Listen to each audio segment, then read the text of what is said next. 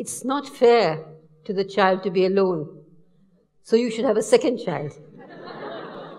I said, Mr. Chaudhary, I have two children.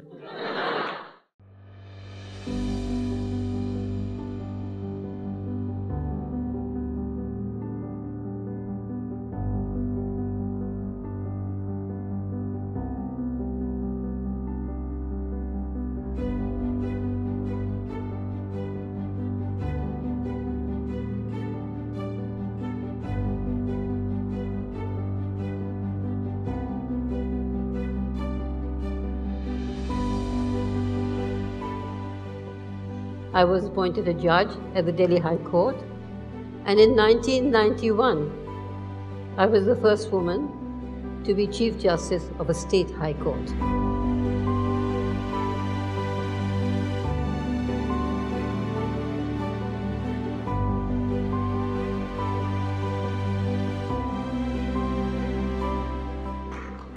Every woman, every mother wants her daughter to be married.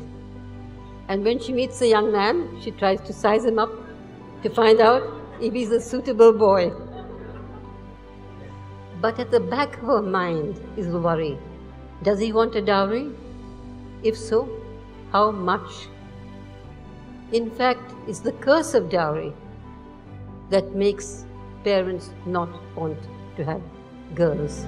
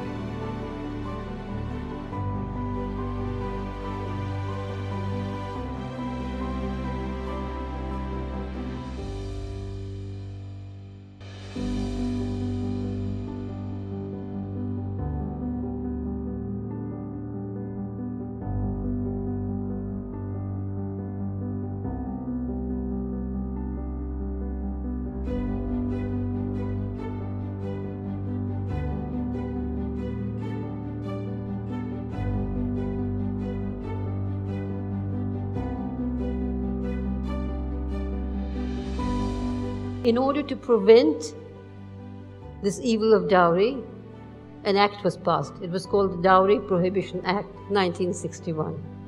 Before the act, dowries were displayed openly. After the act, the display stopped. But the giving and taking of dowry continued. And the demand for ostentatious functions and feasts by the bridegroom's family to be paid for by the bride's family continued. Thanks for watching. Please subscribe and hit the bell icon.